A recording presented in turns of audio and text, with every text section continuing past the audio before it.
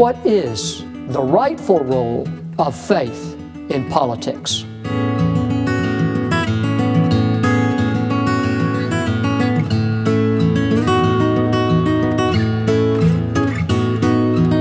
the religious right, stakes out a position, calls it Christian, and then doesn't allow any room for debate.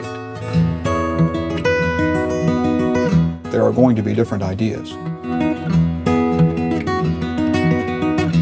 The Hebrew prophets continually called the people to justice for the poor. The widow, the sojourner, the orphan, the poor, those are the people that are lifted up in Scripture. Can these teachings help to build a society that looks more as Jesus would want it to look.